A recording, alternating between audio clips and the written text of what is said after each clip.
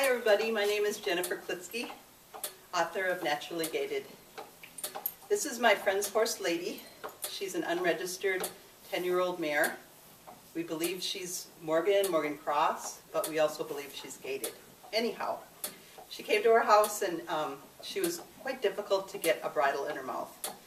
Uh, not totally sure what the history has been with her, but um, we did have the vet come out for sprig shots and teeth floats. She was floated, uh, and she's been a lot easier to bridle since.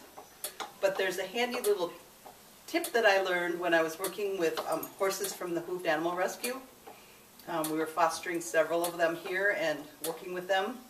And a lot of them were very, very difficult to bridle. So what I do is I, I have a bite-sized alfalfa pellet, and I put that in my hand, and I put the bit over it, and I haven't had any trouble bridling a horse. Um, pretty soon they lower their head and they open their mouth, accept the bit, and then they get their treat.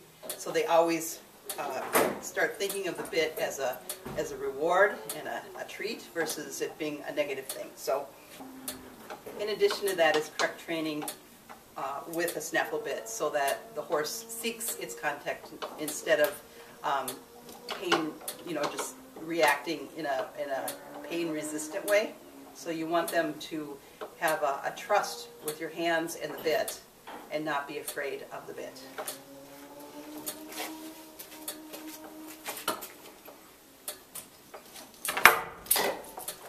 Just a moment, please. Oops, come over here. Come on. Right here. You go, kiddo. Yeah, here we go.